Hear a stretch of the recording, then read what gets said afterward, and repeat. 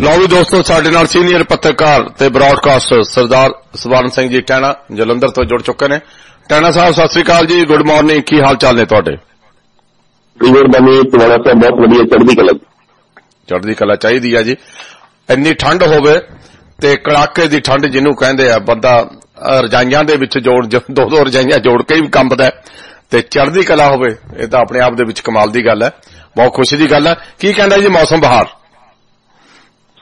ਮੌਸਮ ਵੀ ਜਿਹੜਾ ਉਹ ਲਗਾਤਾਰ ਠੰਡਾ ਹੋ ਰਿਹਾ ਹੋਰ ਠੰਡਾ ਹੋ ਰਿਹਾ।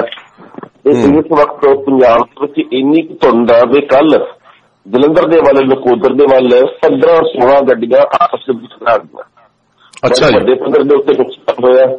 ਇੱਕ ਦੇ ਵਿੱਚ ਦੂਜੀ ਦੂਜੀ ਦੇ ਵਿੱਚ ਤੀਜੀ ਤੀਜੀ ਦੇ ਵਿੱਚ ਚੌਥੀ ਇਦਾਂ 15 ਹੂੰ। 16 ਗੱਡੀਆਂ ਇੱਕ ਦੂਜੀ ਦੇ ਵਿੱਚ ਵੱਜੀਆਂ।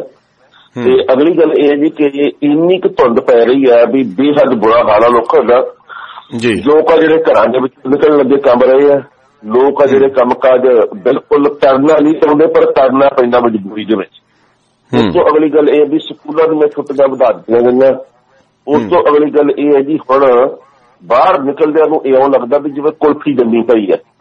ਤੇ ਜੀ। ਪੰਜਾਬ ਇਸ ਵਕਤ ਸ਼ਿਮਲਾ ਬਣਿਆ ਹੋਇਆ। ਤੇ ਸ਼੍ਰੀਨਗਰ ਦੇ ਵੱਲ ਇਸ ਵਕਤ ਡਲ ਝੀਲ ਹੈ ਜਿਹੜੀ ਉਹ ਜੰਮ ਚੁੱਕੀ ਹੈ। ਅੱਛਾ। ਹਿਮਾਚਲ ਦੇ ਵਿੱਚ ਬੇਹੱਦ ਉੱਤੇ ਠੰਡ ਪੈ ਰਹੀ ਹੈ।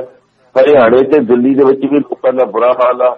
ਸੋ ਇਸ ਮੌਸਮ ਦੇ ਵਿੱਚ ਬਈ ਗੱਲ ਇਹ ਕਿ ਜੈਕਟਾਂ ਹੀਟਰ ਬਲੋਅਰ ਤੇ ਜਿਹੜੀਆਂ ਹੋਰ ਚੀਜ਼ਾਂ ਹੁੰਦੀਆਂ ਉਹਨਾਂ ਦੀ। ਮੰਗ ਆ ਜਿਹੜੀ ਵੱਧ ਗਈ ਹੈ ਉਦਾਂ ਬਾਜ਼ਾਰਾਂ ਦੇ ਵਿੱਚ ਉਹ ਪਹਿਲਾਂ ਵਰਗੀ ਰੌਣਕ ਦੇਖਣ ਨੂੰ ਨਹੀਂ ਮਿਲਦੀ। ਤੇ ਮੌਸਮ। ਵਿਭਾਗ ਨੇ ਇਹ ਗੱਲ ਕਹੀ ਹੈ ਕਿ ਅੱਜ ਦੀ ਵੀ ਧੁੱਪ ਨਹੀਂ ਨਿਕਲਣੀ ਤੇ ਕੱਲ ਨੂੰ ਯਾਨੀ ਕਿ ਨਵੇਂ ਸਾਲ ਦੇ ਮੌਕੇ ਹੋ ਸਕਦਾ ਪੰਜਾਬ ਦੇ ਕਈ ਹਿੱਸਿਆਂ ਦੇ ਵਿੱਚ ਮੀਂਹ ਪੈ ਜਾਵੇ। ਤੇ ਪਰਸੋਂ ਵੀ ਮੀਂਹ ਪੈਣ ਦੀ ਸੰਭਾਵਨਾ ਪ੍ਰਗਟ ਕੀਤੀ ਗਈ ਹੈ। ਪਰ ਇੱਕ ਗੱਲ ਹੋਰ ਆ ਕਿ ਇੰਨੀ ਠੰਡ ਦੇ ਕਰਕੇ ਬੜੇ ਵੱਡੀ ਗਿਣਤੀ 'ਚ ਲੋਕਾਂ ਦੀ ਮੌਤ ਹੋਈ ਹੈ। ਦਰਜਨਾਂ। ਲੋਕਾਂ ਦੀ ਹੁਣ ਤੱਕ ਮੌਤ ਹੋ ਚੁੱਕੀ ਹੈ। ਹਰ ਰੋਜ਼ ਦਰਜਨਾਂ ਟ੍ਰੇਨਾਂ ਲੇਟ ਹੋ ਜਾਂਦੀਆਂ। ਹਰ ਰੋਜ਼ ਦਰਜਨਾਂ ਉਡਾਣਾਂ ਲੇਟ ਹੋ ਜਾਂਦੀਆਂ। ਸੋ ਇਹ ਪੰਜਾਬ ਦਾ ਕੁੱਲ ਮੌਸਮ ਹੈ। ਜੀ ਜੀ ਬਿਲਕੁਲ ਬਿਲਕੁਲ ਸਹੀ ਗੱਲ ਹੈ ਤੁਹਾਡੀ। ਉਧਰ ਭਨਿਆਰੇ ਵਾਲਾ ਸਾਧ ਠੰਡ ਦੇ ਕਰਕੇ ਚੜ ਗਿਆ ਕਰ ਗਿਆ ਚੜਾਈ ਜਾਂ ਉਦਾਂ ਕਿਸੇ ਹੋਰ ਗੱਲ ਕਰਕੇ ਜੀ? ਦੇਖੋ ਪਿਆਰ ਤੇ ਪੰਜਾਰੇ ਵਾਲੇ ਨੂੰ ਕਈ ਲੋਕ ਬਾਬਾ ਕਹਿੰਦੇ ਸੀ। ਹੂੰ। ਤੇ ਬਾਬਾ ਇੱਥੇ ਪੰਜਾਬ ਦੇ ਵਿੱਚ ਲਾਈ ਲੱਗ ਲੋਕ ਕਿਸੇ ਨੂੰ ਵੀ ਕਹਿ ਦਿੰਦੇ ਆ। ਇਹ ਕੋਈ ਬੜੀ ਵੱਡੀ ਗੱਲ ਹੈ ਨਹੀਂ ਜੀ। ਤੇ ਇਹ ਜਿਹਨੂੰ ਮਰਜ਼ੀ ਬਾਬਾ ਬਣਾ ਦਿੰਦੇ ਜਿਹਨੂੰ ਮਰਜ਼ੀ ਮਾਤਾ ਬਣਾ ਦਿੰਦੇ ਆ, ਪਰ ਆਪਣੀ। ਮਾਤਾ ਤੇ ਆਪਦੇ ਬਾਬੇ ਨੂੰ ਕਈ ਵਾਰ ਸੰਭਾਲਦੇ ਨਹੀਂ ਹੁੰਦੇ। ਜਿਹੜਾ ਪਿਆਰਾ ਸਿੰਘ ਭੰਡਾਰੇ ਕਰਾ ਇਹ ਰੋਪੜ ਦੇ। ਮਤਲਬ ਪਿੰਡ ਦਾ ਤੇ ਇਹਦੇ ਛਾਤੀ ਦੇ ਵਿੱਚ ਦਰਦ ਹੋਇਆ। ਤੇ ਉਸ ਤੋਂ ਬਾਅਦ ਇਹਨੂੰ ਮੋਹਾਲੀ ਦੇ ਇੱਕ ਪ੍ਰਾਈਵੇਟ ਹਸਪਤਾਲ ਦੇ ਵਿੱਚ ਭਰਤੀ ਕਰਵਾਇਆ ਗਿਆ ਤੇ ਫਿਰ ਉੱਥੇ ਦੌੜਤਾ। ਪਰ ਅਗਲੀ ਗੱਲ ਇਹ ਹੈ ਜੀ ਕਿ ਪਿਆਰਾ ਸਿੰਘ ਦੀ ਜਿਹੜੀ ਪੂਰੀ ਜ਼ਿੰਦਗੀ ਹੈ ਜਦੋਂ। ਤੋਂ ਉਹ ਆਪੇ ਪਾਪਾ ਬਣਿਆ ਉਦੋਂ ਤੋਂ ਲੈ ਕੇ ਹੁਣ ਤੱਕ ਲਗਾਤਾਰ ਵਿਵਾਦਾਂ ਦੇ ਵਿੱਚ ਰਿਹਾ। ਜੀ। ਬਾਪ ਦੋ ਮਜ਼ਾਰਾਂ ਦੀ ਸੰਭਾਲ ਕਰਦਾ ਹੁੰਦਾ ਸੀ। ਜੀ। ਉਦੋਂ ਜਿਹੜਾ ਪਿਆਰਾ ਸਿੰਘ ਸੀਗਾ ਇਹ ਜੰਗਲਾਤ ਮਹਿਕਮੇ ਦੇ ਚਪੜਾਸੀ ਸੀਗਾ। ਜਦੋਂ ਪਿਤਾ ਤੁਰ ਗਿਆ ਫਿਰ ਇਹਨੇ ਚੜਪ ਚਪੜਾਸੀ ਵਾਲੀ ਨੌਕਰੀ ਛੱਡਤੀ ਤੇ ਫਿਰ। ਇਹ ਆਪੇ ਬਾਬਾ ਬਣੀ ਉਸ ਅੱਛਾ ਤੋਂ ਬਾਅਦ ਇਹਨੇ ਜੰਗਲਾਤ ਮਹਿਕਮੇ ਦੀ ਜ਼ਮੀਨ ਦੇ ਇੱਕ ਟੁਕੜੇ ਤੇ ਕਬਜ਼ਾ ਕਰਕੇ ਤੇ ਉੱਥੇ ਡੇਰਾ ਬਣਾ ਲਿਆ ਫਿਰ। ਇਹਦੀ ਦੂਰ ਦੂਰ ਤੱਕ ਮੁੱਤਾ ਹੁੰਦੀ ਕਿ ਰਾਜਨੀਤਿਕ ਲੋਕ ਇਹਦੇ ਨਾਲ ਜੁੜਦੇ ਗਏ ਇਹ ਜਿਹੜਾ। ਇੱਕ ਬੂਟਾ ਸਿੰਘ ਕੇ ਭਾਰਤ ਦੇ ਕੇਂਦਰੀ ਮੰਤਰੀ ਸਾਬਕਾ ਉਹ ਇਹਨਾਂ ਦੇ। ਖਾਸੇ ਮਿੱਤਰ ਤੇ ਖਾਸੇ ਚੇਲੇ ਸੀਗੇ ਕਈ ਜੀ। ਲੀਡਰ ਹੋਰ ਵੋਟਾਂ ਦੇ ਚੱਕਰ ਦੇ ਵਿੱਚ ਇਹਦੇ ਕੋਲੇ ਆਉਣ ਲੱਗ ਪਏ ਫਿਰ ਇਹਨੇ। ਇੱਕ ਵਾਰ ਹੋਰ ਕਰਤੂਤ ਕੀਤੀ ਸੀ ਵੀ ਗੁਰੂ ਗੋਬਿੰਦ ਸਿੰਘ ਜੀ ਦਾ ਸਵਾਗਤ ਰਚ ਲਿਆ। ਜੀ। ਉਸ ਮੌਕੇ ਵੀ ਇੱਕ ਬੜੀ ਆਲੋਚਨਾ ਹੋਈ ਸੀ। ਫਿਰ ਇਹਦੇ ਉੱਤੇ ਲੱਗਾ ਸੀ ਵੀ ਇਹਨੇ ਗੁਰੂ ਗ੍ਰੰਥ ਸਾਹਿਬ ਜੀ ਦੀਆਂ ਬੇਅਦਬੀਆਂ ਕਰਵਾਈਆਂ। ਫਿਰ ਲੋਕਾਂ ਦੇ ਵਿੱਚ ਰੋਸ ਸੀਗਾ। ਫਿਰ ਇਹਨੇ ਹੂੰ। ਇੱਕ ਵਾਰ ਕੋਈ ਹੋਰ ਗ੍ਰੰਥ ਸਿਰਜ ਲਿਆ ਆਪੇ। ਉਹਦੇ। ਕਰਕੇ ਬੜੀ ਚਰਚਾ ਹੋਈ। ਤਾਂ ਹੂੰ। ਫਿਰ ਇਸ ਤਰ੍ਹਾਂ ਦੇ ਕਈ ਤਰ੍ਹਾਂ ਦੇ ਮੌਕੇ ਆਏ ਆ ਜਦੋਂ ਇਹਨੂੰ ਕੋਈ ਨਾ ਕੋਈ ਪੰਗਾ ਪਿਆ ਰਹਿੰਦਾ ਸੀ ਤੇ ਪੰਗਾ ਇਹ ਲੈਂਦਾ ਰਹਿੰਦਾ ਸੀ। ਉਸ ਤੋਂ ਬਾਅਦ ਇਹਨੂੰ 8-9 ਮਹੀਨੇ ਜੇਲ੍ਹ ਵੀ ਇੱਕ ਵਾਰੀ ਜਾਣਾ ਪਿਆ। ਇੱਕ ਵਾਰੀ। ਇਹਦੀ ਪਿੱਠ ਦੇ ਵਿੱਚ ਕਿਸੇ ਨੇ ਚਾਕੂ ਵੀ ਮਾਰਤਾ ਸੀ। ਮਤਲਬ ਕਹਿਣ ਦਾ ਇਹ ਹੈ ਕਿ ਕੁਝ ਅਹ ਕੁਝ ਸਾਲ ਪਹਿਲਾਂ ਤੱਕ ਇਹਦੀ ਖਾਸੀ ਚਰਚਾ ਹੁੰਦੀ ਸੀ ਪਰ ਹੁਣ ਇਹਦੀ ਚਰਚਾ ਦੇ ਵਿਸ਼ੇ ਬੰਦ ਹੋ ਗਏ ਸੀਗੇ। ਸੋ ਉਹਦੀ। ਮੌਤ ਹੋ ਗਈ ਹੈ ਅਚਾਨਕ ਮੌਤ ਹੋਈ ਹੈ ਇਹ ਖਬਰ ਹੈ ਜੀ। ਬਿਲਕੁਲ। ਉਧਰ ਪਤਾ ਲੱਗਿਆ ਟੈਣਾ ਸਾਹਿਬ ਇੱਕ ਗੋਨਿਆਣਾ ਮੰਡੀ ਦੇ ਵਿੱਚ ਆਰੀਆ ਸਮਾਜ ਦੇ ਪ੍ਰਚਾਰਕ ਸਵਾਮੀ ਸੂਰਿਆ ਦੇਵ।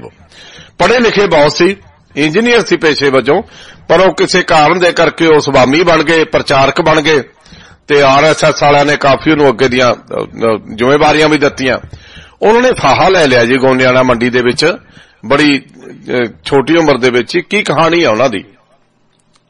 ਦੇਖੋ ਇਹ ਤਾਂ ਹੁਣ ਵਕਤ ਦੱਸੂਗਾ ਜੀ ਕਿ ਪੜਤਾਲ ਦਾ ਵਿਸ਼ਾ ਇਹ ਕਿ ਉਹ ਕਿਹੜੇ ਕਾਰਨ ਕਰਕੇ ਫਾਹਾ ਲੈ ਗਏ ਖੁਦਕੁਸ਼ੀ ਕਿਉਂ ਕਰ ਗਏ? ਕੋਈ ਮਾਨਸਿਕ ਕਾਰਨ ਸੀ ਆਰਥਿਕ ਕਾਰਨ ਸੀ ਰਾਜਨੀਤਿਕ ਕਾਰਨ ਸੀ ਕੋਈ ਸਮਾਜਿਕ ਕਾਰਨ ਸੀ ਜਾਂ ਕੋਈ ਹੋਰ ਕਈ ਵਾਰੀ ਗੱਲ ਹੁੰਦੀ ਹੈ ਜੀ। ਪ੍ਰਕਾਰ ਦਾ ਵਿਸ਼ਾ। ਪਰ ਜਿਵੇਂ ਤੁਸੀਂ ਗੱਲ ਕਹੀ ਇਹਦੀ ਕਿ ਵਾਵਾ ਪੜ੍ਹੇ ਲਿਖੇ ਸੀ ਕਿ ਉਹ ਸਵਾਮੀ ਬਣ ਗਏ। ਭਾਰਤ ਦੇ ਵਿੱਚ ਕਾਮੀ ਇਸ ਵਕਤ ਦੋ ਚੱਲਦੇ ਆ। ਉਹਦੇ। ਵਿੱਚੋਂ ਇੱਕ ਤਾਂ ਇਹ ਵੀ ਤੁਸੀਂ ਸਵਾਮੀ ਬਣ ਜਾਓ। ਜੇ ਹੂੰ। ਸਵਾਮੀ ਤੁਸੀਂ ਵਧੀਆ ਤਰੀਕੇ ਨਾਲ ਕਾਮਯਾਬ ਹੋ ਜਾਂਦੇ ਹੋ ਜੀ। ਉਸ ਤੋਂ ਬਾਅਦ ਫਿਰ ਤੁਹਾਨੂੰ ਲੀਡਰ ਆਪਣੇ ਨਾਲ ਜੋੜ ਲੈਂਦੇ ਆ। ਤੇ। ਲੀਡਰ ਤੁਹਾਡੇ ਕੋਲੇ ਆਉਣਾ ਸ਼ੁਰੂ ਕਰ ਦਿੰਦੇ ਆ ਤੇ ਫਿਰ। ਹੋ ਸਕਦਾ ਕਿ ਤੁਸੀਂ ਇੱਕ ਦਾ ਇੱਕ ਦਿਨ ਕੇਂਦਰ ਦੇ ਵਿੱਚ ਵੀ ਪਹੁੰਚ ਜਾਓ ਇਹ ਵੀ ਹੋ। ਸਕਦਾ ਤੁਹਾਨੂੰ ਐਮਪੀ ਐਮਐਲਏ ਦੀ ਟਿਕਟ ਤਾਂ ਤੁਹਾਡੀ ਵੱਟ ਤੇ ਪਈ ਆ ਜੇ ਤੁਸੀਂ ਭਾਜਪਾ। ਭਾਜਪਾ ਕਰਦੇ ਰਹੇ ਤੇ ਫਿਰ ਤਾਂ। ਕਮਾਲ ਹੋਈ ਹੋ। ਇਸ ਤੋਂ ਇਲਾਵਾ ਹੋਰ ਬੜੇ ਗੱਫੇ ਮਿਲਦੇ ਰਹਿੰਦੇ ਆ ਪਰ ਕਈ। ਵਾਰ ਗੱਫੇ ਨੂੰ ਧੱਫੇ ਵੀ ਪੈ ਜਾਂਦੇ ਕਿਉਂਕਿ ਕਈ ਇਸ ਵਕਤ ਅੰਦਰ ਵੀ ਬੈਠੇ ਜੀ ਬਿਲਕੁਲ ਬਿਲਕੁਲ ਆ ਗੋਨਿਆਣਾ ਮੰਡੀ ਬਹੁਤ ਮਸ਼ਹੂਰ ਬਹੁਤ ਹੈ ਕਈ ਵਾਰੀ ਚਾਹੇ ਗੱਲ ਕੈਂਸਰ ਦੀ ਚੱਲੇ, ਜੇ ਗੱਲ ਨਸ਼ਿਆਂ ਦੀ ਚੱਲੇ, ਬਾਬਿਆਂ ਦੀ ਚੱਲੇ ਗੋਨਿਆਣਾ ਮੰਡੀ ਦੇ ਵਿੱਚ ਗੱਲ ਆਏ ਜਾਂਦੀ ਹੈ ਕਿਤੇ ਨਾ ਕਿਤੇ ਤਰੀਕੇ ਦੇ ਨਾਲ। ਆ, ਦੂਜੇ ਪਾਸੇ ਰਾਣਾ ਟੈਣਾ ਸਾਹਿਬ ਰਾਜੋਵਾਣਾ ਦੀ ਮੂੰਹ ਬੋਲੀ ਭੈਣ। ਪਤਾ ਲੱਗਾ ਜੀ ਐਸਜੀਪੀਸੀ ਪ੍ਰਧਾਨ ਲੌਂਗੋਵਾਲ ਦੇ ਨਾਲ ਮੀਟਿੰਗ ਕਰਕੇ ਹਟੀ ਹੈ। ਦੇਖੋ ਪਿਛਲੇ ਦਿਨੀ ਬਲਵੰਤ ਸਿੰਘ ਰਾਜੋਵਾਲਾ ਨੇ ਇਹ ਗੱਲ ਕਹੀ ਸੀ ਕਿ 11 ਜਨਵਰੀ ਨੂੰ ਜੀ ਮੈਂ ਜੇਲ੍ਹ ਦੇ ਵਿੱਚ ਹੀ ਧਰਨਾ ਸ਼ੁਰੂ ਕਰ ਦੇਣਾ।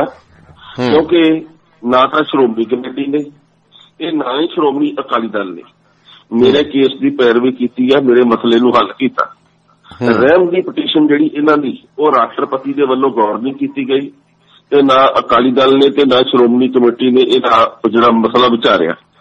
ਨਾ ਬਾਅਦ ਦੇ ਵਿੱਚ ਕਦੇ ਪਹੁੰਚ ਹੀ ਕੀਤੀ ਉਹਨਾਂ ਤੱਕ। ਜਦੋਂ ਪਹੁੰਚ ਕਰਦੇ ਆ ਉਹ ਮਾੜੀ ਮੋਟੀ ਖਬਰ ਆਉਂਦੀ ਹੈ ਬਾਅਦ ਦੇ ਵਿੱਚ ਗੱਲ ਆਈ ਗਈ ਹੋ ਜਾਂਦੀ ਹੈ ਰਾਜੋਵਾਲਾ ਇਸ ਤੋਂ ਪਹਿਲਾਂ ਵੀ ਦੋ ਵਾਰ ਜੇਲ੍ਹ ਦੇ ਵਿੱਚ ਹੜਤਾਲ ਕਰ ਚੁੱਕਿਆ ਪਰ ਉਹਦਾ ਕੋਈ ਸਿੱਟਾ ਨਿਕਲਦਾ ਨਹੀਂ ਜੂਸ ਪਿਆ ਕੇ ਵਾਪਸ ਆ ਜਾਂਦੇ ਆ। ਹੁਣ ਉਹਨੇ ਕਿਹਾ ਜੀ ਕਿ ਮੈਂ 11 ਜਨਵਰੀ ਤੋਂ ਫਿਰ ਹੜਤਾਲ ਸ਼ੁਰੂ ਕਰਨੀ ਹੈ। ਤੇ ਕੱਲ ਜਿਹੜੀ ਕਮਲਦੀਪ ਕੌਰ ਮੂੰਹ ਬੋਲੀ ਭੈਣ ਆ ਉਹਦੇ। ਵੱਲੋਂ ਗੋਬਿੰਦ ਸਿੰਘ ਲੌਂਗੋਵਾਲ ਹੋਰਾਂ ਦੇ ਨਾਲ ਮੁਲਾਕਾਤ ਕੀਤੀ ਗਈ ਹੈ। ਲੌਂਗੋਵਾਲ ਸਾਹਿਬ ਨੂੰ ਮਿਲ ਕੇ ਤੇ ਉਹਨਾਂ ਨੇ ਸਾਰੀਆਂ ਗੱਲਾਂ ਬਾਤਾਂ ਕੀਤੀਆਂ ਵੀ ਭਾਈ ਕਿੱਥੇ ਕਿੱਥੇ ਕੀ ਕੀ ਅੜਚਣਾ ਸਮੇਂ ਸਮੇਂ ਤੇ ਆਈਆਂ। ਪਤਾ ਲੱਗਾ ਵੀ ਲੌਂਗੋਵਾਲ ਹੋਰਾਂ ਨੇ ਕਿਹਾ ਵੀ ਤੁਹਾਡੇ ਇਸ ਕੇਸ ਦੀ ਪੈਰਵੀ ਕਰਨ ਦੇ ਲਈ ਤੇ ਸ਼੍ਰੋਮਣੀ ਕਮੇਟੀ ਸੁਪਰੀਮ ਕੋਰਟ ਦਾ ਇੱਕ ਵਕੀਲ ਹੈ ਜਿਹੜਾ ਉਹ ਆਪਣੇ ਖਰਚੇ ਦੇ ਉੱਤੇ ਮੁਹੱਈਆ ਕਰਵਾਊਗੀ।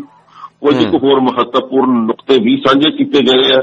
ਬਾਕੀ ਵਕਤ ਦੱਸੂਗਾ ਇਸ ਮਾਮਲੇ ਦੇ ਉੱਤੇ ਕੀ ਬਣਦਾ। ਪਰ ਕੱਲ ਜਿਹੜੀ ਮੀਟਿੰਗ ਆ ਇਹਦੇ ਵਿੱਚ ਕਹਿੰਦੇ ਆ ਵੀ ਕੁਝ ਕੁ ਮਹੱਤਵਪੂਰਨ ਚਰਚਾ ਹੋਈ ਹੈ ਜੀ। ਜੀ ਵੈਸੇ ਰਾਜਵਾਨਾ ਸਾਹਿਬ ਜਦੋਂ ਪਹਿਲੀਆਂ ਦੇ ਵਿੱਚ ਤਾਂ ਫਾਂਸੀ ਦਾ ਰੱਸਾ ਚੁੰਮਣ ਨੂੰ ਤਿਆਰ ਬਰ ਤਿਆਰ ਬੈਠੇ ਸੀ। ਕਹਿੰਦੇ ਦੇਰੀ ਕਿਉਂ ਲਾਉਨੇ ਹੋ? ਫਿਰ ਬਾਅਦ ਦੇ ਵਿੱਚ ਜਾਂ ਪਿੱਛੇ ਜੇ ਇਲੈਕਸ਼ਨਾਂ ਹੋਈਆਂ, ਜਦੋਂ ਆਮ ਆਦਮੀ ਦੀ ਪਾਰਟੀ ਜਿੱਤੀ, ਇਹੀ ਮੂੰਹ ਬੋਲੀ ਭੈਣ ਰਾਜਵਾਨੇ ਨੂੰ ਮੂਹਰੇ ਰੱਖ ਕੇ ਮੇਰਾ ਖਿਆਲ ਉਹਨਾਂ ਨੂੰ ਜਿਤਾਉਣ ਦੇ ਚੱਕਰਾਂ ਦੇ ਵਿੱਚ ਵੀ ਰਹੀ ਆ ਵੀ ਜੇਲ੍ਹ 'ਚ ਬੈਠਿਆਂ ਨੂੰ ਜਿਤਾ ਦੂੰਗੀ ਮੈਂ, ਜਾਂ ਆਪ ਅੱਗੇ ਆਈਸੀ ਇਲੈਕਸ਼ਨ ਦੇ ਵਿੱਚ ਵੀ ਬੜਾ ਕੁਝ ਕੀਤਾ ਹੁਣ ਤੱਕ। ਇਹ ਕਿਉਂ ਬਦਲ ਰਹੇ ਨੇ ਸਮੇਂ-ਸਮੇਂ ਦੇ ਨਾਲ? ਡੋਲ ਗਏ ਹੁਣ? ਦੇਖੋ ਜੀ, ਇਹ ਤਾਂ ਪਹਿਲੀ ਗੱਲ ਤਾਂ ਇਹ ਹੈ ਕਿ ਉਹਨਾਂ ਦੇ ਵੱਲੋਂ ਇਹੀ ਗੱਲ ਕਹੀ ਜਾ ਰਹੀ ਹੈ ਕਿ ਜੋ ਵੀ ਫੈਸਲਾ ਕਰਨਾ ਉਹ ਕਿਉਂ ਨਹੀਂ ਵੇਲੇ ਸਿਰ ਕੀਤਾ ਜਾ ਰਿਹਾ?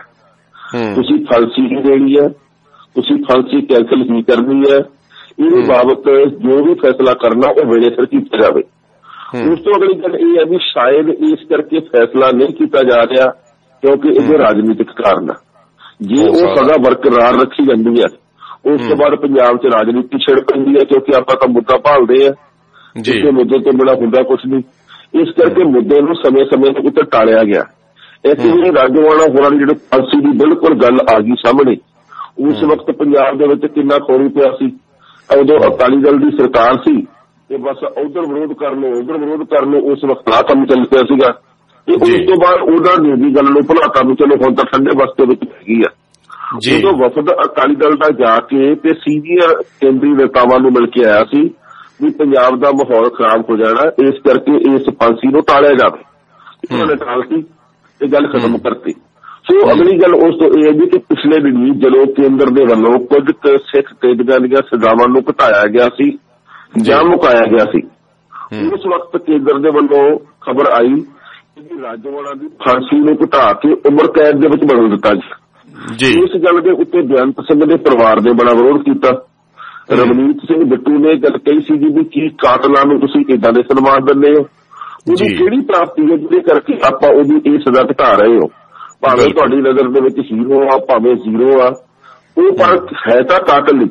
ਉਹ ਕਾਤਲ ਕਿਉਂ ਬਣਿਆ? ਇਹ ਵਾਧੀਆਂ ਗੱਲਾਂ ਪਰ ਹੈ ਕਾਤਲ। ਤੇ ਕਾਤਲ ਦੇ ਨਾਲ ਜੋ ਕਾਨੂੰਨ ਨੇ ਵਿਹਾਰ ਕਰਨਾ ਉਹੀ ਹੋਣਾ ਚਾਹੀਦਾ।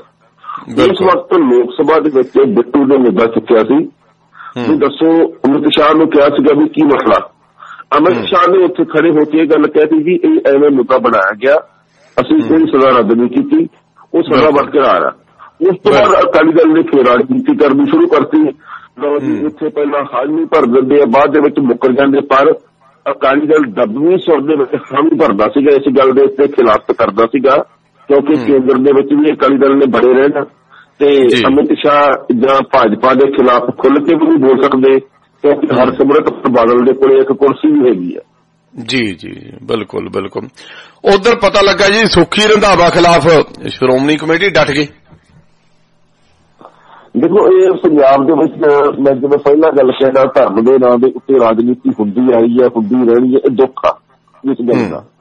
ਹਾਲਾਂਕਿ ਧਰਮ ਦੇ ਨਾਂ ਦੇ ਉੱਤੇ ਜਿਹੜੇ ਮੁੱਦੇ ਉੱਠਦੇ ਆ ਇਹਦੇ ਜੀ। ਨਾਲ ਵੱਡੇ ਮੁੱਦੇ ਪੰਜਾਬ ਦੇ ਵਿੱਚ ਇਸ ਵਕਤ ਹੋਰ ਵੀ ਬਹੁਤ ਸਾਰੇ ਹੈਗੇ ਆ। ਜੀ। ਜੇ ਮੰਨ ਲਓ ਕੋਈ ਇੱਕ ਮੂਰਖ ਬੰਦਾ ਕੋਈ ਨਹੀਂ ਹੋਵੇ ਉਹ ਕਿਸੇ ਗੁਰੂ ਸਾਹਿਬਾਨ ਦੇ ਬਾਰੇ ਸ਼ਰਾਰਤੀ ਰੂਪ ਦੇ ਵਿੱਚ ਗਲਤ ਬੋਲਦਾ। ਤਾਂ ਕੀ। ਤੁਸੀਂ ਇਹ ਮਹਿਸੂਸ ਕਰਦੇ ਹੋ ਕਿ 500 ਸਾਲ ਪੁਰਾਣਾ ਸਾਡਾ ਧਰਮ ਜਿਹੜਾ ਉਹਦੀਆਂ ਨੀਆਂ ਜਾਣਗੀਆਂ ਕਿਸੇ ਇੱਕ ਸ਼ਰਾਰਤੀ ਬੰਦੇ ਦੇ ਲਈ ਅਸੀਂ ਲੱਖਾਂ ਬੰਦੇ ਜਿਹੜੇ ਉਹ ਆਪਣਾ ਕੰਮ ਕਾਜ ਛੱਡ ਦਿੰਦੇ ਆ ਅਸੀਂ। ਗਿਆਨ ਪੜ੍ਹਦੇ ਆ ਅਖਬਾਰ ਕਾਲੇ ਹੁੰਦੇ ਆ ਟੈਲੀਵਿਜ਼ਨਾਂ ਦੇ ਉੱਤੇ ਬਹਿਸ ਚੱਲ ਪੈਂਦੀ ਹੈ। ਇਹ ਸਾਡੇ ਦੇਸ਼ ਦੀ ਇੱਕ ਬੜੀ ਗਲਤ ਗੱਲ ਹੈ। ਮੈਨੂੰ ਲੱਗਦਾ ਵੀ ਹੋਰ ਕਿਸੇ ਦੇਸ਼ ਦੇ ਵਿੱਚ ਇਹ ਉਦਾਹਰਣ ਦੇਖਣ ਨੂੰ ਨਹੀਂ ਮਿਲਦਾ। ਅਸੀਂ ਸਭ ਤੋਂ ਵੱਧ ਧਰਮ ਧਰਮ ਧਰਮ ਕਰਦੇ ਹਾਂ।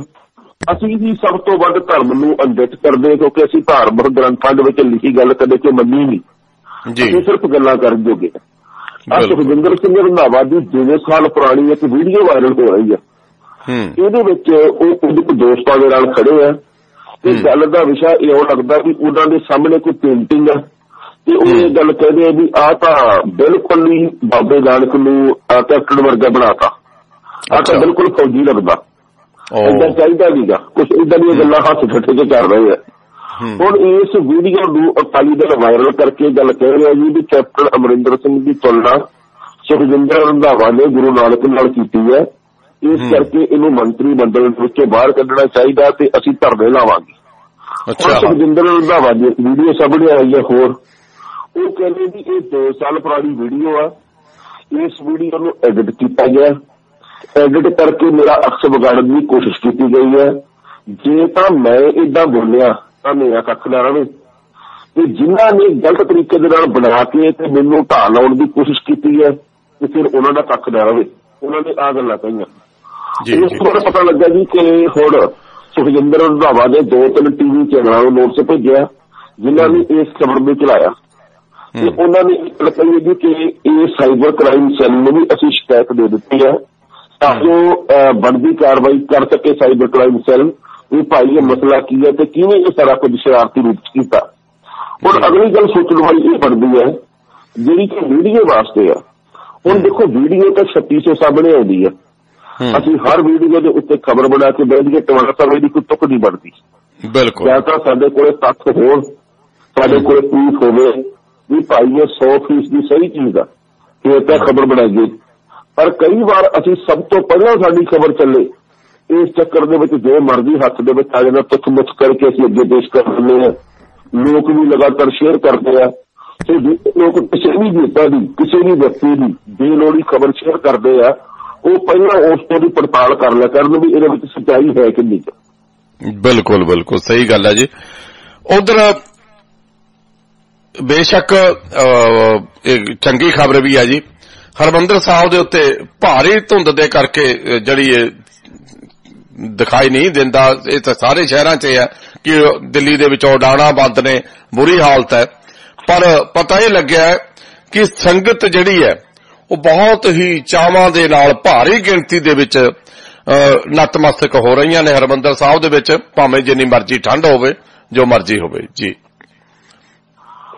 ਬਿਲਕੁਲ ਜੀ ਇਹ ਲੋਕਾਂ ਦਾ ਉਤਸ਼ਾਹ ਲੋਕਾਂ ਦੀ ਸ਼ਰਧਾ ਲੋਕਾਂ ਦੀ ਧਾਰਮਿਕ ਭਾਵਨਾ ਲੋਕਾਂ ਦੀ ਆਸਥਾ ਉਹਦੇ ਕਰਕੇ ਸਭ ਕੁਝ ਹੈ। ਕਿਉਂਕਿ ਇਸ ਵਕਤ ਜਦੋਂ ਰਜਾਈ ਦੇ ਵਿੱਚ ਵੀ ਕਾਂਬਾ ਛੱਡਦਾ। ਹੂੰ। ਉਸ ਵਕਤ ਵੀ ਜੇਕਰ ਤੁਸੀਂ ਦਰਬਾਰ ਸਾਹਿਬ ਦੇ ਵਿੱਚ ਮੱਥਾ ਟੇਕਣਾ ਜਾ ਕੇ ਤਾਂ 2.5 ਘੰਟੇ ਬਾਅਦ ਤੁਹਾਡੀ ਉੱਥੇ ਵਾਰੀ ਆਉਂਦੀ ਹੈ ਜੀ। ਵੈਸੇ ਭਾਵੇਂ ਗਰਮੀ ਦਾ ਮੌਸਮ ਹੋਵੇ ਰਾਤ ਹੋਵੇ ਸਵੇਰ ਹੋਵੇ ਦਿਨ ਹੋਵੇ ਦੁਪਹਿਰ ਹੋਵੇ ਉੱਥੇ 2.5 ਘੰਟੇ ਬਾਅਦ ਹੀ ਵਾਰੀ ਆਉਂਦੀ ਹੁੰਦੀ ਹੈ ਪਰ ਜਦੋਂ ਇੰਨੀ ਠੰਡ ਹੋਵੇ ਤਾਂ ਬੰਦਾ ਸੋਚਦਾ ਵੀ ਭਾਈ ਉੱਥੇ ਤਾਂ ਹੁਣ ਸੰਗਤ ਜਾਣੀ ਘਟ ਗਈ ਹੋਣੀ ਹੈ। ਕਿਉਂਕਿ ਠੰਡ ਦੇ ਵਿੱਚ ਜੀ ਨਹੀਂ ਕਰਦਾ ਘਰੋਂ ਬਾਹਰ ਨਿਕਲਣ ਨੂੰ। ਪਰ ਇਹ ਗੱਲ ਬਿਲਕੁਲ ਗਲਤ ਹੈ ਤੇ ਲੋਕ ਉਨੀ ਹੀ ਵੱਡੀ ਗਿਣਤੀ ਦੇ ਵਿੱਚ ਹਾਲੇ ਵੀ ਉੱਥੇ ਜਾ ਰਹੇ ਆ। ਬਾਕੀ ਵੱਖ-ਵੱਖ ਥਾਵਾਂ ਦੇ ਉੱਤੇ ਵੀ ਜਾਂਦੇ ਆ ਪਰ ਉੱਥੇ ਵੀ ਲੋਕ ਲਗਾਤਾਰ ਬਹੁਤ ਵੱਡੀ ਗਿਣਤੀ 'ਚ ਜਾ ਰਹੇ ਆ। ਸੋ ਜੀ ਬੇਸ਼ੱਕ ਉੱਥੇ ਆਲੇ ਦੁਆਲੇ ਚਾਰੇ ਪਾਸੇ ਧੁੰਦ ਦੀ ਚਾਦਰ ਪਸਰੀ ਹੈ। ਚਾਰੇ ਪਾਸੇ ਚਿੱਟਾ ਹੀ ਚਿੱਟਾ ਵਾਤਾਵਰਨ ਹੈ। ਪਰ ਲੋਕ ਧੁੰਦ ਨੂੰ ਚੀਰ ਕੇ ਤੇ ਨਤਮਸਤਕ ਹੋਣ ਜਾ ਰਹੇ ਆ। ਇਹ ਆਪਣੇ ਆਪ ਦੇ ਵਿੱਚ ਖੁਸ਼ੀ ਹੈਰਾਨੀ ਤੇ ਤਸੱਲੀ ਵਾਲੀ ਗੱਲ ਹੈ ਟਣਾ ਸਾਹਿਬ ਤੁਹਾਨੂੰ ਯਾਦ ਹੋਣਾ ਪਹਿਲਾਂ ਜਦੋਂ ਕੋਈ ਵੀ ਮਾੜੀ ਮੋਟੀ ਪ੍ਰੋਬਲਮ ਆਉਂਦੀ ਸੀ ਨਾ ਅਕਾਲੀ ਦਲ ਇਹ ਕਹਿਣਾ ਹੁੰਦਾ ਸੀ ਵੀ ਹੁਣ ਜੇਲਾਂ ਭਰਾਂਗੇ ਆ ਹੁਣ ਕਦੇ ਇਹਨਾਂ ਨੇ ਜੇਲਾਂ ਹੀ ਨਹੀਂ ਭਰੀਆਂ ਆ ਠੰਡ ਦੇ ਕਰਕੇ ਤਾਂ ਨਹੀਂ ਡਰਦੇ ਕਿਤੇ? ਇਹ ਬਿਲਕੁਲ ਜੀ ਠੰਡ ਦੇ ਕਰਕੇ ਹੀ ਆ। ਹੁਣ ਤਾਂ ਜਿਹੜੇ ਧਰਨੇ ਆ ਉਹ ਵੀ ਸੁੰਗੜ ਗਏ ਆ। ਜੇ ਕੋਈ ਧਰਨਾ ਲਾਉਂਦਾ। ਪਹਿਲੀ ਗੱਲ ਤਾਂ ਜ਼ਮੀਨ ਇੰਨੀ ਠੰਡੀ ਹੈ ਵੀ ਬੰਦਾ। ਜਿੱਥੇ ਬੈਠੂਗਾ ਤੇ ਉਹ ਹੀ ਜੰਮ ਜਾਣਾ ਹੁਣ ਤਾਂ ਦਰਿਆ ਦੇ ਵਿੱਚ ਦੀ ਨਿਕਲ ਕੇ ਠੰਡ ਤੁਹਾਡੇ ਪਿੱਟੇ ਵਿੱਚ ਚੁੰਬੜਦੀ ਹੈ ਤੇ। ਬੰਦਾ ਕਹਿੰਦਾ ਵੀ ਚਲੋ ਛੱਡੋ ਹਾਲੇ ਮੌਸਮ ਮਾੜਾ ਜਿਹਾ ਖੁੱਲ ਲੈਣ ਦਿਓ ਧਰਨੇ ਆਪਾਂ ਫੇਰ ਸ਼ੁਰੂ ਕਰਾਂਗੇ ਨਾਲੇ ਭਾਈ ਜੀ ਗੱਲ ਇਹ ਹੈ ਕਿ ਧਰਨਿਆਂ ਦੇ ਵਿੱਚੋਂ ਖੱਟਿਆ ਕੀ ਹੈ ਹੈ। ਜਥੇਬੰਦੀਆਂ ਸਰਕਾਰਾਂ ਦੇ ਖਿਲਾਫ ਧਰਨੇ ਲਾਉਣ ਜਾ ਰਹੀਆਂ ਜਾਂ ਲਾ ਰਹੀਆਂ। ਨਾ। ਤਾਂ ਕਦੇ ਉਹਨਾਂ ਵਿਚਾਰਿਆਂ ਨੂੰ ਕੁਝ ਮਿਲਿਆ ਤੇ ਜਿਹੜੇ ਲੀਡਰਾਂ ਨੇ ਅੱਜ ਤੱਕ ਇੱਕ ਦੂਜੇ ਦੇ ਖਿਲਾਫ ਡਰਾਮੇ ਬਾਜ਼ੀ ਵਾਲੇ ਧਰਨੇ ਲਾਏ ਆ ਇਹਨਾਂ ਨੂੰ ਤਾਂ ਮਿਲਣਾ ਚਾਹੀਦਾ ਵੀ ਨਹੀਂ ਕੁਝ। ਕਿਉਂਕਿ ਸੁਖਬੀਰ ਸਿੰਘ ਬਾਦਲ ਇਹ ਗੱਲ ਕਹਿੰਦੇ ਹੁੰਦੇ ਸੀ ਆ ਕੁਝ ਕੁ ਵਰੇ ਪਹਿਲਾਂ ਤੱਕ ਵੀ ਜਿਹੜੇ ਧਰਨਾ ਲਾਉਣ ਵਾਲੇ ਲੋਕ ਹਨ ਇਹ ਵੇਲੜਾ। ਇਹਨਾਂ ਦੇ ਕੋਲ ਕੋਈ ਹੋਰ ਕੰਮ ਹੈ ਜੀ ਹੁਣ ਜੀ। ਚੌਥੇ ਦਿਨ ਆਪ ਤੁਰ ਪੈਂਦੇ ਲੋਕ ਲਾਣਾ ਲੈ ਕੇ ਵੀ ਭਾਈ ਆਪਾਂ ਫਲਾਣੇ ਮਸਲੇ ਦੇ ਉੱਤੇ ਸਰਕਾਰ ਘੇਰਨੀ ਆ। ਬੰਦਾ ਭੁੱਲ ਜਾਂਦਾ ਕਈ ਵਾਰ ਜੋ ਅਸੀਂ ਗੱਲਾਂ ਕੀਤੀਆਂ ਸਾਡੇ ਉੱਤੇ ਲਾਗੂ ਹੋ ਜਾਂਦੀਆਂ। ਸੋ ਠੰਡ ਦੇ ਕਰਦੇ, ਕਰਕੇ ਧਰਨੇ ਪ੍ਰਭਾਵਿਤ ਹੋਏ ਆ। ਪਰ ਉਹ ਜਿਹੜੀਆਂ ਜਥੇਬੰਦੀਆਂ ਨੇ ਭਾਵੇਂ ਕਿਸਾਨ ਜਥੇਬੰਦੀਆਂ ਭਾਵੇਂ ਮਜ਼ਦੂਰ ਜਥੇਬੰਦੀਆਂ ਜਾਂ ਬੇਰੁਜ਼ਗਾਰ ਜਥੇਬੰਦੀਆਂ ਅਧਿਆਪਕ ਜਥੇਬੰਦੀਆਂ ਉਹਨਾਂ ਦੇ ਵੱਲੋਂ ਵੀ ਪ੍ਰਦਰਸ਼ਨ ਥੋੜੇ ਜਿਹੇ ਘਟਾਏ ਗਏ ਆ, ਪਰ ਇਹ ਵਧਣਗੇ ਜੀ। ਜੀ ਜੀ, ਹੁਣ ਪੰਥ ਖਤਰੇ 'ਚ ਨਹੀਂ ਹੈਗਾ। ਉਧਰ ਪਤਾ ਲੱਗਿਆ ਬਠਿੰਡੇ ਦੇ ਵਿੱਚ ਮਿਗ 21 ਜਿਹੜਾ ਜਹਾਜ਼ ਹੈ, ਉਹਦਾ ਸਿਹਰਾ ਲੈਣ ਦੇ ਲਈ ਦਿਓਰ ਭਰਜਾਈ ਭਿੜੇ ਨੇ ਆਸ ਵਿੱਚ। ਦੇਖੋ ਇਹੀ ਤਾਂ ਮਸਲਾ ਕਿ ਇਹਨਾਂ ਗੱਲਾਂ ਦੇ ਉੱਤੇ ਅਸੀਂ ਕਿੰਨਾ ਵਕਤ ਜ਼ਾਇਆ ਕਰਦੇ ਆ। ਕਦੇ ਵਿਦੇਸ਼ਾਂ ਦੇ ਵੱਲ ਬੰਦੇ ਨੇ ਦੇਖਿਆ ਹੀ ਨਹੀਂ ਹੋਣਾ ਵੀ ਭਾਈ ਪੁਲ ਦਾ ਉਦਘਾਟਨ ਕਰਨ ਮੰਤਰੀ ਪਹੁੰਚੇ ਆ ਮੁੱਖ ਮੰਤਰੀ ਪਹੁੰਚ ਗਿਆ। ਇੱਥੇ ਭਾਰਤ ਦੇ ਵਿੱਚ ਕੀ ਹੁੰਦਾ ਉਹਦੇ ਪਹਿਲਾਂ ਮੈਂ ਉਦਘਾਟਨ ਕਰ ਜਾਂਦਾ। ਤੇ ਜਿਹੜਾ ਵਿਰੋਧੀ ਪਾਰਟੀ ਦਾ ਨੇਤਾ ਹੁੰਦਾ ਉਹ ਕਹਿੰਦਾ ਵੀ ਭਾਈ ਸਾਡੀ ਸਰਕਾਰ ਦੇ ਮੌਕੇ ਵੀ ਇਹਦਾ ਕੰਮ ਹੁੰਦਾ ਸੀਗਾ। ਤੇ ਬਾਅਦ ਦੇ ਵਿੱਚ ਫੀਤਾ ਕੱਟਣ ਉਹ ਆ ਜਾਂਦਾ। ਤੇ ਲੋਕ ਬਿਟ-ਬਿਟ ਕਰਦੇ ਵੇਲੇ ਵੀ ਰਹਿ ਜਾਂਦੇ ਤੇ ਤਾੜੀਆਂ ਵੀ ਮਾਰੀ ਜਾਂਦੇ ਆ ਕਿਉਂਕਿ ਲੋਕਾਂ ਦਾ ਆਪਦਾ ਸਿਰ ਕੋਈ ਨਹੀਂ ਹੁੰਦਾ। ਇਹ ਜਿਹੜੀ ਖਬਰ ਹੈ ਇਹਦੀ ਬਿਲਕੁਲ ਉਹੋ ਜੀ ਹੈ। ਜੋਹਰ ਭਰਜਾਈ ਬਾਦਲ ਟੱਬਰ ਦੇ ਵਿੱਚ ਜੋਹਰ ਭਰਜਾਈ ਆਪਸ ਦੇ ਵਿੱਚ ਲੜ ਰਹੇ ਆ। ਇਹ ਬਠਿੰਡੇ ਦੇ ਕਢਈਆ ਚੌਕ ਦੇ ਵਿੱਚ ਲਿੰਗ ਇੱਕੀ ਜਹਾਜ਼ ਹੈ ਜਿਹੜਾ ਸੇਵਾ ਮੁਕਤ ਜਹਾਜ਼ ਹੈ ਜਿਹੜਾ ਫੌਜ ਦਾ। ਜੀ। ਉਹਨੂੰ ਇੱਥੇ ਸਥਾਪਿਤ ਕਰ ਦਿੱਤਾ ਗਿਆ ਉੱਥੇ ਲਾ ਦਿੱਤਾ ਗਿਆ। ਚਲੋ ਵਧੀਆ ਗੱਲ ਹੈ ਲੋਕਾਂ ਦੀ ਜਿਹੜੀ ਖਿੱਚ ਹੁੰਦੀ ਹੈ ਕਿ ਅਸੀਂ ਜਹਾਜ਼ ਵੇਚੀਏ ਇੱਕ ਤਾਂ ਉਹ ਪੂਰੀ ਹੋ ਜਾਂਦੀ ਹੈ। ਇੱਕ ਲੋਕਾਂ ਦੇ ਮਨ ਦੇ ਵਿੱਚ ਗੱਲਾਂ ਆਉਂਦੀਆਂ ਜਦੋਂ ਲਿਖਿਆ ਹੋਵੇ ਬਰਾਬਰ ਦੇ ਭਾਈ ਇਸ ਜਹਾਜ਼ ਦੇ ਖਰਚੇ ਫਲਾੜੀਆਂ ਫਲਾੜੀਆਂ ਲੜਾਈਆਂ ਲੜੀਆਂ ਬੰਦੇ ਨੂੰ ਅਤੀਤ ਚਿੱਤੇ ਆ ਜਾਂਦਾ? ਹੁਣ ਇਹ ਜਹਾਜ਼ ਲਾਉਣ ਦੇ ਬਦਲੇ ਜੋਰ ਭਰਜਾਈ ਲੜ ਰਹੇ ਆ। ਮਨਪ੍ਰੀਤ ਸਿੰਘ ਬਾਦਲ ਕਹਿੰਦੇ ਕਿ ਇਹ ਜਹਾਜ਼ ਮੈਂ ਤਾਂ ਕਰਕੇ ਲਵਾਇਆ ਤਾਂ ਜੋ ਲੋਕਾਂ ਦੀ ਦੇਸ਼ ਭਗਤੀ ਦੀ ਜਾਗ ਲੱਗੇ। ਹਰਸਿਮਰਤ ਕੌਰ ਬਾਦਲ ਕਹਿੰਦੀ ਇਹ ਤਾਂ ਮੈਂ ਲਵਾਇਆ। ਤੇ ਮੈਂ ਮੇਰੇ ਕੋਲ ਮੁਲਾਕਾਤਾਂ ਕਰਦੀ ਹੁੰਦੀ ਸੀ ਤੇ ਰਾਜਨਾਥ ਸਿੰਘ ਦੇ ਨਾਲ ਉਹਨਾਂ ਨੇ ਆਪਣੀ ਇੱਕ ਫੋਟੋ ਵੀ ਸ਼ੇਅਰ ਕੀਤੀ ਹੈ। ਕਿ ਭਾਈ ਇਹ ਜਹਾਜ਼ ਕਦੋਂ ਤੇ ਕਿਵੇਂ ਲਵਾਇਆ ਤੇ ਕਿਵੇਂ ਕਿਵੇਂ ਦੀਆਂ ਮੀਟਿੰਗਾਂ ਚੱਲਦੀਆਂ ਹੁੰਦੀਆਂ ਸੀ? ਮਤਲਬ ਕਹਿਣ ਦਾ ਇਹ ਹੈ ਕਿ ਇੱਕ ਜਹਾਜ਼ ਦੇ ਪਿੱਛੇ ਫੇਰ ਕਰਦੇ ਜੀ ਜੀ ਜੀ। ਖੱਬੇ ਪਾਸੇ ਹਰਸਿਮਰਤ ਕੌਰ ਦੀ ਫੋਟੋ ਲਾ ਦਿਓ ਸੱਜੇ ਪਾਸੇ ਮਨਪ੍ਰੀਤ ਜੀ ਬਾਦਲ ਦੀ ਲਾ ਦਿਓ ਆਪੇ ਸਾਰਾ ਮਸਲਾ ਹੱਲ ਹੋ ਜੂ। ਐਨੀਵੇ ਟਹਿਲਾ ਸਾਹਿਬ ਪਤਾ ਲੱਗਾ ਜੀ ਪੰਜਾਬ 'ਚ ਗਧਿਆਂ ਦੀ ਜਿਹੜੀ ਗਿਣਤੀ ਆ ਬਹੁਤ ਘਟੀ ਹੈ ਲੀਡਰਾਂ ਦੀ ਗਿਣਤੀ ਬਹੁਤ ਵਧੀ ਹੈ। ਦੇਖੋ ਜੀ ਮੈਂ ਨਾ ਜਦੋਂ ਦੀ ਇਹ ਖਬਰ ਪੜ੍ਹੀ ਮੈਨੂੰ ਅਚਨੀ ਜੀ ਲੱਗੀ ਪਈ ਹੈ ਵੀ ਇਹ ਕਿਵੇਂ ਹੋ ਸਕਦਾ ਕੁਦਰਤ ਇਦਾਂ ਕਿਵੇਂ ਧਰੋਖ ਮਾ ਸਕਦੀ ਹੈ ਸਾਡੇ ਪੰਜਾਬ ਦੇ ਨਾਲ। ਜੀ। ਇਹ ਗੱਲ ਬਿਲਕੁਲ ਝੂਠੀ ਹੋਊਗੀ ਇਹ ਗੱਲ ਸੱਚੀ ਨਹੀਂ ਹੋਣੀ। ਜੀ। ਕਿਉਂਕਿ ਚਾਰ ਲੱਤਾਂ ਵਾਲੀ ਭਾਵੇਂ ਗਧਿਆਂ ਦੀ ਗਿਣਤੀ ਘਟ ਗਈ ਹੋਵੇ ਦੋ ਲੱਤਾਂ ਵਾਲੇ ਵੱਧ ਗਏ ਆ। ਜਿਹੜੇ ਲੋਕ ਅੱਖਾਂ ਬੰਦ ਕਰਕੇ ਵੋਟਾਂ ਪਾਉਂਦੇ ਆ ਜਿਹੜੇ ਲੋਕ ਦਾਰੂਆਂ ਦੇ ਲਾਲਚ ਦੇ ਵਿੱਚ ਵੋਟਾਂ ਪਾ ਦਿੰਦੇ ਆ ਤੇ ਵੋਟ ਪਾਉਣ ਸਾਰੀ ਕਰਦੇ ਹੁੰਦੇ ਕੁਝ ਨਹੀਂ ਬਣਨਾ ਪੰਜਾਬ ਦਾ ਬੇੜਾ ਕਰ ਕੀ ਹੋਣਾ ਵੇਖ ਲਿਓ ਇੱਥੇ। ਉਹਨਾਂ। ਜਗ੍ਹਾ ਦੀ ਕੋਈ ਗਿਣਤੀ ਦੀ ਘਟ ਨਹੀਂ ਜਿਹੜੇ ਆਪਦੇ ਕੰਮ ਕਾਜ ਛੱਡ ਕੇ ਘਰੇ ਤਾਂ ਬਿਮਾਰੀ ਪੈਂਦੀ ਸਭ ਨੂੰ ਪਰ ਡੇਰਿਆਂ ਦੇ ਖੇਤਾਂ 'ਚ ਜਾ ਕੇ ਆਲੂ ਪਟਦੇ ਆ। ਉਹਨਾਂ ਜਗ੍ਹਾ ਦੀ ਕੋਈ ਘਟ ਨਹੀਂ ਪੰਜਾਬ ਦੇ ਵਿੱਚ। ਜਿਹੜੇ ਲੋਕ ਇੱਕ ਦੂਜੇ ਦੇ ਕੰਮ ਆਉਣ ਦੀ ਥਾਂ ਦੇ ਉੱਤੇ ਬੰਦਾ ਮਰਦਾ ਹੁੰਦਾ ਤੇ ਹਾਂ। ਉਹਦੀ ਵੀਡੀਓ ਸੜਕ ਦੇ ਉੱਤੇ ਡਿੱਗੇ ਪਏ ਦੀ ਬਣਾਉਂਦੇ ਹੁੰਦੇ ਆ ਉਹਨਾਂ ਜਗ੍ਹਾ ਦੀ ਕੋਈ ਘਾਟ ਨਹੀਂ ਪੰਜਾਬ ਦੇ ਵਿੱਚ ਪਰ ਇਹ। ਦੋ ਲੱਤਾਂ ਵਾਲੇ ਆ। ਉਹ ਜੀ, ਤਾਂ ਜਿਹੜਾ। ਪਸ਼ੂ ਪਾਲਣ ਵਿਭਾਗ ਆ ਉਹਨੇ। ਸਰਵੇਖਣ ਕੀਤਾ। ਉਹ। ਕਹਿੰਦੇ ਵੀ ਪੰਜਾਬ ਦੇ ਵਿੱਚ ਸਿਰਫ 400 ਤੇ 37 ਜਗ੍ਹਾ ਰਹਿ ਗਏ ਆ। ਇਹ ਲਗਾਤਾਰ ਪੰਜਾਬ 'ਚ ਘੋੜੇ ਊਠ ਖੱਚਰਾਂ ਗਧੇ ਜਿਹੜੇ ਇਹਨਾਂ ਦੀ ਗਿਣਤੀ ਘਟੀ ਜਾਂਦੀ ਹੈ ਗਧਿਆਂ ਦੀ ਗਿਣਤੀ ਕਹਿੰਦੇ 83% ਘਟ ਗਈ ਆ। ਉਹਦਾ ਕਾਰਨ ਇਹ ਆ ਵੀ ਹੁਣ ਲੋਕਾਂ ਦੇ ਕੋਲੇ ਢੋਆ ਢਵਾਈ ਦੇ ਹੋਰ ਬੜੇ ਸਾਧਨ ਆ ਗਏ। ਇੱਕ ਤੋਂ ਦੂਜੀ ਥਾਂ ਤੱਕ ਸਮਾਨ ਲੋਕ ਜਿਹੜੇ ਹੋਰ ਸਾਧਨਾਂ ਰਾਹੀਂ ਲੈ ਜਾਂਦੇ ਆ। ਇਸ ਕਰਕੇ ਹੁਣ ਗਧਿਆਂ ਦੀ ਲੋੜ ਨਹੀਂ ਰਹੀ ਪਰ ਇਹ ਉਹ ਗਧੇ ਆ ਜਿਹੜੇ ਹਿੜਕਦੇ ਆ ਜਿਹੜੇ ਉਦਾਂ ਹਿੜਕਦੇ ਆ ਵੈਸੇ ਘਰਾਂ ਦੇ ਵਿੱਚ ਬਾਹਰ ਜਾ ਕੇ ਉਹਨਾਂ ਦੀ ਕੋਈ ਗਿਣਤੀ ਨਹੀਂ ਘਟੀ ਇਹਨਾਂ ਦੀ ਪੂਛ ਦੀ ਦਿਸਦੀ ਪਰ ਕਰਤੂਤਾ ਉਹ ਹੀ ਹੈ ਕੀ ਬਾਤ ਹੈ। ਪਤਾ ਲੱਗਾ ਜੀ ਕੈਪਟਨ ਅਮਰਿੰਦਰ ਸਿੰਘ ਸਾਡੇ ਮੁੱਖ ਮੰਤਰੀ ਨੇ ਤੇ ਮੀਡੀਆ ਵਾਲਿਆਂ ਨੇ ਉਹਨਾਂ ਨੂੰ ਪੁੱਛ ਲਿਆ ਯਾਦ ਕਰਾਇਆ ਵੀ ਭਾਈ ਤੁਸੀਂ ਸਮਾਰਟਫੋਨ ਦੇਣੇ ਸੀ। ਉਹਨਾਂ ਦਾ ਕੀ ਬਣਿਆ? ਕਹਿੰਦੇ ਮੈਨੂੰ ਤਾਂ ਯਾਦ ਨਹੀਂ ਤੁਹਾਨੂੰ ਯਾਦ ਆ ਤੁਸੀਂ ਦੇ ਦਿਓ। ਮੁੱਕਰੇ ਗਏ ਮਾਂ ਦੇ ਪੁੱਤ। ਦੇਖੋ ਇਹ ਵੀ ਇੱਕ ਕਮਾਲ ਆ ਵੀ ਜਿਹੜੇ ਲੋਕ ਸਮਾਰਟਫੋਨ ਮੰਗਦੇ ਆ ਇਸ ਗੁਰਬਤ ਦੇ ਵੇਲੇ। ਰੋਜ਼ਗਾਰ ਚਾਹੀਦਾ ਉਹ ਫਿਰ ਵੀ ਸਮਾਰਟਫੋਨ ਮੰਗਦੇ ਆ ਇਹ ਵੀ ਉਹਨਾਂ ਗਧਿਆਂ ਦੇ ਵਿੱਚ ਹੀ ਸ਼ਾਮਲ ਹੁੰਦੇ ਆ ਇਹਨਾਂ ਨੂੰ ਦੇਖ ਕੇ ਵੀ ਮੈਨੂੰ ਇਉਂ ਲੱਗਦਾ ਵੀ ਨਹੀਂ ਗਿਣਤੀ ਦੀ ਘਟ ਸਕਦੀ ਗਿਣਤੀ ਵਧੂਗੀ ਆਉਂਦੇ ਸਮੇਂ। ਵਧੂਗੀ ਜਿਹੜੇ। ਵੇਲੇ ਤੁਸੀਂ ਰਾਜਨੀਤਿਕ ਲੋਕਾਂ ਦੇ ਕੋਲੋਂ ਮੰਗ ਇਹ ਕਰਨੀ ਆ ਕਿ। ਭਾਈ ਸਾਨੂੰ ਤਾਂ ਸਮਾਰਟਫੋਨ ਨਹੀਂ ਸਾਨੂੰ ਰੋਜ਼ਗਾਰ ਦਿਓ ਤੇ ਅਸੀਂ ਆਪੇ ਫੋਨ ਲੈ ਲਾਂਗੇ ਜੀ ਸਾਡੇ ਹੱਥ ਦੇ ਵਿੱਚ ਰੋਜ਼ਗਾਰ ਹੋਣਾ ਚਾਹੀਦਾ ਉਸ। ਵਕਤ ਮੁਫਤ ਦੇ ਵਿੱਚ ਅਸੀਂ ਜ਼ਹਿਰ ਵੀ ਨਹੀਂ ਛੱਡ ਦੇਗੇ ਜੇ। ਸਰਕਾਰ ਕਹਿ ਦੇਵੇ ਨਾ ਵੀ ਤੁਹਾਨੂੰ ਜ਼ਹਿਰ ਦੇਵਾਂਗੇ ਜੀ ਮੁਫਤ ਦੇ ਵਿੱਚ ਸਾਨੂੰ ਵੋਟਾਂ ਪਾ ਦਿਓ ਲੋਕਾਂ ਨੇ ਤਾਂ ਵੀ ਲੈ ਲੈਣੀ ਹੈ ਕੋਈ ਵੀ।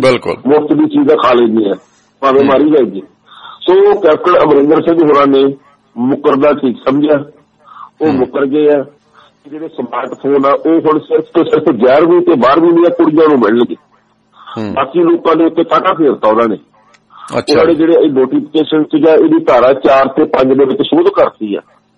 ਸੋ ਇਸ ਤੋਂ ਬਾਅਦ ਜਿਹੜੀਆਂ ਕੁੜੀਆਂ ਜਿਹੜੀਆਂ ਨੇ ਉਹ ਤਾਂ ਸ਼ਾਇਦ ਖੁਸ਼ ਹੋਣ ਪਰ। ਜਿਹੜੀ ਕੱਲ ਕੁਝ ਕੁ ਮਾਪਿਆਂ ਨਾਲ ਗੱਲ ਹੋਈ।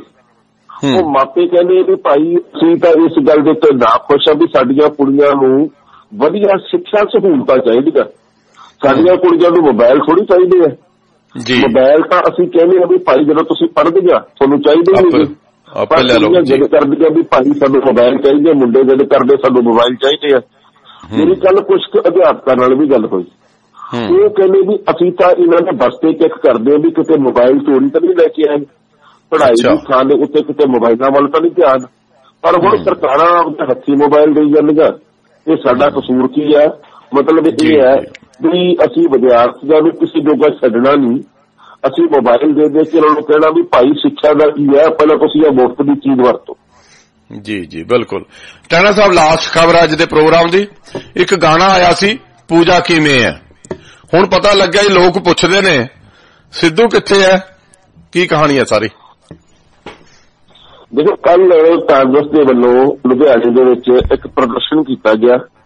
ਇਹ ਪ੍ਰਦਰਸ਼ਨ ਸੀਗਾ ਕੈਪਟਨ ਅਮਰਿੰਦਰ ਸਿੰਘ ਸੁਨੀਲ ਜਾਖੜ ਆਸ਼ਾ ਕੁਮਾਰੀ ਤੇ ਹੋਰ ਸੀਨੀਅਰ ਨੇਤਾਵਾਂ ਦੀ ਅਗਵਾਈ 'ਚ ਜੀ। ਇਹ ਪ੍ਰਦਰਸ਼ਨ ਸੀਗਾ ਨਾਗਰਿਕਤਾ ਸੋਧ ਕਾਨੂੰਨ ਦੇ ਖਿਲਾਫ। ਇੱਥੇ ਕੈਪਟਨ ਅਮਰਿੰਦਰ ਸਿੰਘ ਨੇ ਵੀ ਭਾਸ਼ਣ ਦਿੱਤਾ ਬਾਕੀਆਂ ਨੇ ਵੀ ਦਿੱਤਾ ਵੀ ਭਾਈ ਨਾਗਰਿਕਤਾ ਸੋਧ ਕਾਨੂੰਨ ਕੇਂਦਰ ਦੇ ਲਿਆ ਕੇ। ਤੇ ਲੋਕਾਂ ਦੀਆਂ ਭਾਵਨਾਵਾਂ ਤੇ ਸੱਟ ਮਾਰੀ ਆ। ਤੇ ਇਹ ਸਾਡੇ ਦੇਸ਼ ਦੇ ਸੰਵਿਧਾਨਕ ਢਾਂਚੇ ਨਾਲ ਖਿਲਵਾੜ ਕਰਨ ਵਾਲੀ ਗੱਲ ਕੀਤੀ ਹੈ ਇਹ ਕੈਪਟਨ ਨੇ ਕਿਹਾ ਜੀ ਕਿ ਅਸੀਂ ਇਸ ਬਿੱਲ ਨੂੰ ਪੰਜਾਬ ਦੇ ਵਿੱਚ ਲਾਗੂ ਨਹੀਂ ਹੋਣ ਦਿਆਂਗੇ। ਬਿਲਕੁਲ। ਉਸ ਤੋਂ ਅਗਲੀ ਗੱਲ ਇਹ ਹੈ ਜੀ ਕਿ ਇੱਥੇ ਜਦੋਂ ਪੱਤਰਕਾਰਾਂ ਨੇ ਪੈਕਟ ਨੂੰ ਸਵਾਲ ਕੀਤਾ ਕਿ ਭਾਈ ਸਿੱਧੂ ਕਿੱਥੇ ਆ? ਹੂੰ। ਤਾਂ ਪੈਕਟ ਸਾਹਿਬ ਦੌੜ ਭੌੜ ਕੇ ਹੋ ਗਏ ਉਹਨਾਂ ਨੇ ਕੋਈ ਉੱਤਰ ਦਿੱਤਾ ਹੀ ਨਹੀਂ ਚਲੋ ਚਲੋ ਛੱਡੋ। ਉਹ ਕਹਿ ਕੇ ਗੱਲ। ਚਲੇ ਗਏ। ਉਸ ਤੋਂ ਬਾਅਦ ਪੱਤਰਕਾਰਾਂ ਦੀ ਬੀਬੀ ਆਸ਼ਾ ਕੁਮਾਰੀ ਨੂੰ ਘੇਰ ਲਿਆ। ਹੂੰ। ਉਹ ਕਹਿੰਦੇ ਵੀ ਸਿੱਧੂ ਨਹੀਂ ਦੱਸਦਾ। ਉਹ ਕਹਿੰਦੀ ਉਹ ਕਿਹੜਾ ਕੈਬਨਿਟ ਮੰਤਰੀ ਹੈ ਤੇ ਉਹ ਪੱਤਰਕਾਰ ਕਹਿੰਦੇ ਵੀ ਜਿੰਨੇ ਵੀ ਇੱਥੇ ਨੇਤਾ ਆਏ ਆ ਉਹ ਕਿਹੜਾ ਸਾਰੇ ਕੈਬਨਿਟ ਮੰਤਰੀ ਹੈ ਐਮਐਲਏ ਆ ਉਹ। ਬਾਕੀ। ਐਮਐਲਏ ਵਾਂਗ ਉਹ ਕਿਉਂ ਨਹੀਂ ਆਏ? ਕਹਿੰਦੀ ਜਿਹੜੀ ਮਰਜ਼ੀ ਸੀ ਉਹ ਆ ਗਿਆ ਜਿਹਦੀ ਨਹੀਂ ਮਰਜ਼ੀ ਉਹ ਨਾ ਆਵੇ। ਸੋ ਕਹਿਣ ਦਾ ਭਾਵ ਇਹ ਹੈ ਕਿ ਜਿਹਨੂੰ ਵੀ ਕੱਲ ਪੱਤਰਕਾਰਾਂ ਨੇ ਸਵਾਲ ਕੀਤਾ ਸਿੱਧੂ ਬਾਰੇ ਉਹ ਬਸ ਕੇ ਜੀ ਉੱਤਰ ਦੇ ਕੇ ਤੇ ਵਰਗੇ ਬਦਲ ਜਾਂਦੇ ਸੀ ਹਾਵ ਭਾਵ ਜੇ ਬਦਲ ਜਾਂਦੇ ਸੀ ਤੇ ਉਹ ਉੱਥੋਂ ਖਿਸਕ ਜਾਂਦਾ ਸੀਗਾ। ਸਿੱਧੂ ਦੇ ਬਾਬਤ ਜਦੋਂ ਕਿ ਸਹੀ ਉੱਤਰ ਨਹੀਂ ਮਿਲ ਰਿਹਾ। ਮੈਨੂੰ ਤਾਂ ਕੱਲ ਇਉਂ ਲੱਗਿਆ ਵੀ ਸਿਰੇ ਦੀ ਨਫ਼ਰਤ ਆ ਜਿਸ ਤਰੀਕੇ ਦੇ ਉੱਤਰ ਦਿੱਤੇ ਜਾ ਰਹੇ। ਬਿਲਕੁਲ ਬਿਲਕੁਲ। ਟਾਣਾ ਸਾਹਿਬ ਬਹੁਤ ਖੂਬ ਸਮਾਂ ਅੱਗੇ ਵਧਣ ਦਾ ਇਜਾਜ਼ਤ ਨਹੀਂ ਦੇ ਰਿਹਾ। ਲੰਨਿਆ ਤੁਹਾਡੇ ਕੋਲੋਂ ਇਜਾਜ਼ਤ। ਕੱਲ ਨੂੰ ਮਿਲਣ ਦੇ ਬਾਅਦ ਟਾਣਾ ਸਾਹਿਬ। ਸਤਿ ਸ੍ਰੀ ਅਕਾਲ ਜੀ। ਬਹੁਤ ਬਹੁਤ ਸ਼ੁਕਰੀਆ। ਮਿਹਰਬਾਨੀ।